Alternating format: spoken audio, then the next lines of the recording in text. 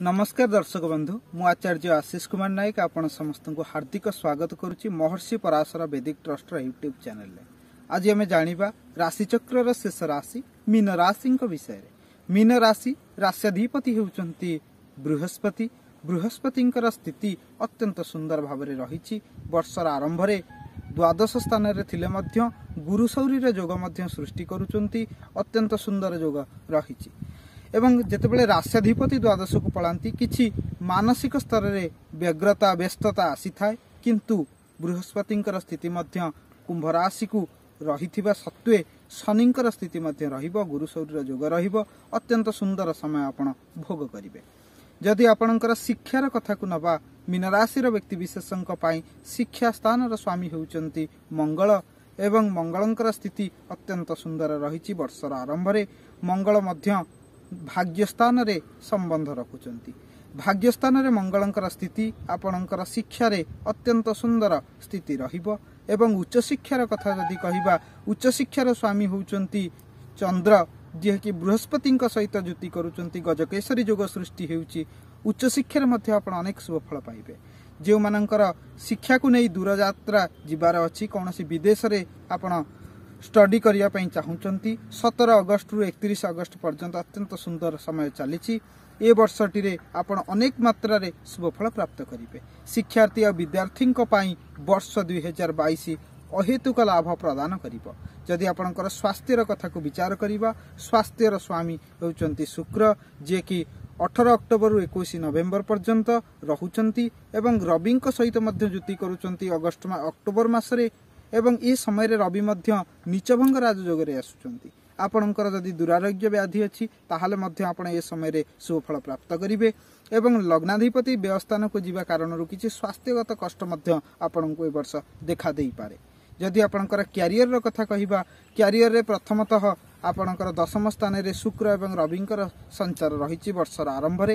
ଯେଉଁମାନଙ୍କର ଏଣ୍ଟରଟେନମେଣ୍ଟରେ କାମ କରୁଛନ୍ତି ମିଡ଼ିଆରେ କାମ କରୁଛନ୍ତି କୌଣସି ଲକ୍ଜୁରୀ ଆଇଟମ୍ ଆପଣ ସେଲ୍ ସର୍ଭିସ୍ କରୁଛନ୍ତି ତାଙ୍କ ପାଇଁ ଅତ୍ୟନ୍ତ ସୁନ୍ଦର ରହିଛି।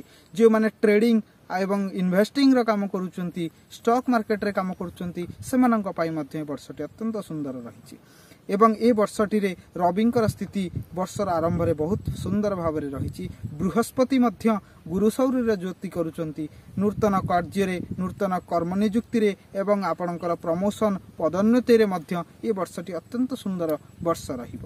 ଏବଂ ଏ ବର୍ଷର ଆରମ୍ଭରେ ଆପଣ ଶୁଭଫଳ ପ୍ରାପ୍ତ କରିବେ। ବୃହସ୍ପତିଙ୍କର ସଞ୍ଚାର ଯେତେବେଳେ ଆପଣଙ୍କର ରହିବ ସ୍ୱରାଶିକୁ ଚଉଦ ଏପ୍ରିଲ ପରେ ଆପଣଙ୍କର ନିଶ୍ଚିତ ଭାବରେ ଆପଣ କ୍ୟାରିୟରରେ ମଧ୍ୟ ଅନେକ ଶୁଭଫଳ ପ୍ରାପ୍ତ କରିବେ। କାରଣ ସ୍ୱରାଶିରେ ଥିବା ବୃହସ୍ପତି ଆପଣଙ୍କୁ କର୍ମକ୍ଷେତ୍ରରେ ଅନେକ ଶୁଭଫଳ ପ୍ରାପ୍ତି କରିବେ କିନ୍ତୁ ବର୍ଷର ଆରମ୍ଭ ଆପଣଙ୍କ ପାଇଁ କିଛି କଷ୍ଟକାରୀ ଆସିପାରେ। ଏବଂ ଆପଣଙ୍କର ଯଦି ଲଭ୍ ଲାଇଫ୍କୁ ବିଚାର କରିବା ଏବଂ ଏ ବର୍ଷଟିରେ ଅତ୍ୟନ୍ତ ସୁନ୍ଦର ଫଳ ଆପଣ ପ୍ରାପ୍ତ କରିବେ ଶୁକ୍ରଙ୍କର ସ୍ଥିତି ଆପଣଙ୍କର ସତର ଅଗଷ୍ଟରୁ ରହୁଛି ଆପଣଙ୍କର କୋଉଠି ନା ଆପଣଙ୍କର ପଞ୍ଚମ ସ୍ଥାନରେ। ଅନେକ ଶୁଭ ଫଳ ପାଇବେ। ଏବଂ ଏ ବର୍ଷଟିରେ ବୃହସ୍ପତି ଏବଂ ବୁଦ୍ଧଙ୍କର ସଂଯୋଗ ମଧ୍ୟ ଚନ୍ଦ୍ରଙ୍କ ସହିତ ରହୁଥିବାରୁ ଆପଣଙ୍କର ଲଭ୍ ଲାଇଫ୍ରେ ଅନେକ ଆଶା ଠାରୁ ଆପଣ ଅଧିକ ଫଳ ଆପଣ ପ୍ରାପ୍ତ କରିବେ। ଏବଂ ଯଦି ବୈବାହିକ ଜୀବନର କଥା କହିବା ବର୍ତ୍ତମାନ ତ ବିବାହର ସ୍ୱାମୀ ଯିଏ ସେ ରହିଛନ୍ତି ଆପଣଙ୍କ ଦଶମ ସ୍ଥାନରେ ବର୍ଷର ଆରମ୍ଭରୁ ବୁଦ୍ଧ ଏବଂ ବୁଦ୍ଧଙ୍କର ସ୍ଥିତି ଏକୋଇଶ ଅଗଷ୍ଟରୁ ଛବିଶ ଅକ୍ଟୋବର ପର୍ଯ୍ୟନ୍ତ ରହିବ ଆପଣଙ୍କର ସପ୍ତମ ସ୍ଥାନରେ ସେ ସମୟରେ ଆପଣ ଯଦି ବିବାହ ପାଇଁ ଚାହୁଁଛନ୍ତି ନୂତନ ବିବାହର ଯୋଗ ମଧ୍ୟ ଆସିବ ଏବଂ ଅତ୍ୟନ୍ତ ସୁନ୍ଦର ସମୟ ଆପଣଙ୍କର ରହିବ। ଏବଂ ବୈବାହିକ ଜୀବନରେ ମଧୁରତା ସୃଷ୍ଟି ହେବ। ଯଦି କିଛି କ୍ଲେଶ ରହିଛି କିଛି କଷ୍ଟ ରହିଛି ବୈବାହିକ ଜୀବନରେ ତାହା ମଧ୍ୟ ଦୂରୀଭୂତ ହୋଇଯିବ। ବର୍ଷଟି ଆପଣଙ୍କ ପାଇଁ ଅନେକ ମାତ୍ରାରେ ଶୁଭଫଳ ଦେଇ ରହିବ। ଏବଂ ଏ ବର୍ଷଟିରେ ସ୍ପେଶିଆଲି ଝିଅମାନଙ୍କ ପାଇଁ ଯେଉଁମାନଙ୍କର ରାଶି ମୀନ ରାଶି ତାଙ୍କର ବିବାହର ଯୋଗ ନିଶ୍ଚିତ ଭାବରେ ରହିଛି ଅତ୍ୟନ୍ତ ଶୁଭ ସ୍ଥିତିରେ ରହିଛି ଏବଂ ବୃହସ୍ପତିଙ୍କର ଚନ୍ଦ୍ରଙ୍କର ଜ୍ୟୋତି ଲଗ୍ନ ସ୍ଥାନରେ ଥିବାରୁ ଆପଣଙ୍କର ବୃହସ୍ପତିଙ୍କ ଦୃଷ୍ଟି ମଧ୍ୟ ବୈବାହିକ ଜୀବନ ସ୍ଥାନକୁ ଥିବାରୁ ବିବାହରେ ଆପଣଙ୍କୁ ଅତ୍ୟନ୍ତ ଶୁଭ ଫଳ ପ୍ରାପ୍ତ କରିବେ। ଯଦି ସମୃଦ୍ଧିର କଥା କହିବା ଆପଣଙ୍କର ପ୍ରଥମତଃ ମଙ୍ଗଳ ଏବଂ ଶନିଙ୍କର ଜ୍ୟୋତି ଏବଂ ବୁଦ୍ଧଙ୍କର ଜ୍ୟୋତି ଆପଣଙ୍କର ବର୍ଷର ଆରମ୍ଭରେ ଏକାଦଶ ସ୍ଥାନରେ ରହିଛି। ଆଶା ଠାରୁ ଅଧିକ ଆପଣ ଫଳପ୍ରାପ୍ତ କରିବେ ଆୟରେ। ଆପଣଙ୍କୁ କୌଣସି ପଇସା ଯଦି ବକେୟା ପଇସା ରହିଛି କୌଣସି ସ୍ଥାନରେ ଆପଣଙ୍କର ରହିଯାଇଛି ତାହା ମଧ୍ୟ ଆପଣଙ୍କୁ ଏ ବର୍ଷ ମିଳିଯିବ ଏବଂ ଆପଣଙ୍କର ବିଜନେସରେ ଆପଣଙ୍କୁ ଆଶା ଠାରୁ ଅନେକ ଶୁଭ ଫଳ ମିଳିବ।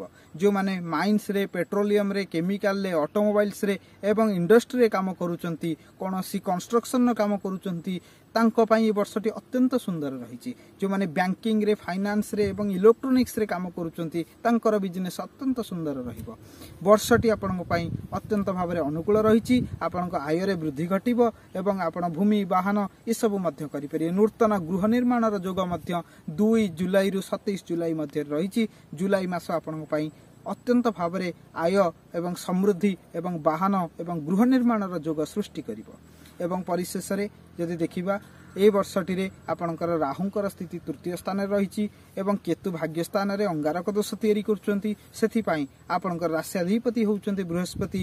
ବୃହସ୍ପତିଙ୍କ ପାଇଁ ଏକ ପାଞ୍ଚମୁଖୀର ରୁଦ୍ରାକ୍ଷ ପ୍ରାଣ ପ୍ରତିଷ୍ଠା କରାଇ ସିଦ୍ଧ କରାଇ ଗୁରୁବାର ଦିନ ଆପଣଙ୍କ ଗଳାରେ ଧାରଣ କରନ୍ତୁ ଏବଂ ପ୍ରତ୍ୟେକ ଦିନ ଆପଣ ଜଗନ୍ନାଥ ଅଷ୍ଟକମ୍ ପାଠ କରନ୍ତୁ କିମ୍ବା ଶ୍ରବଣ କରନ୍ତୁ ବର୍ଷଟି ଆପଣଙ୍କ ପାଇଁ ଅତ୍ୟନ୍ତ ଭାବରେ ଶୁଭଫଳଦାୟୀ ରହିବ। ତା ସହିତ ମୋର ଶୁଭକାମନା ଆପଣମାନଙ୍କ ସହିତ ରହିଛି। ଏ ବର୍ଷ ଆପଣଙ୍କର ସମୃଦ୍ଧିମୟ ହେଉ ଉଜ୍ଜଳମୟ ହେଉ ଆନନ୍ଦମୟ ହେଉ ଏତିକି କାମନା। ରହୁଛି। ନମସ୍କାର।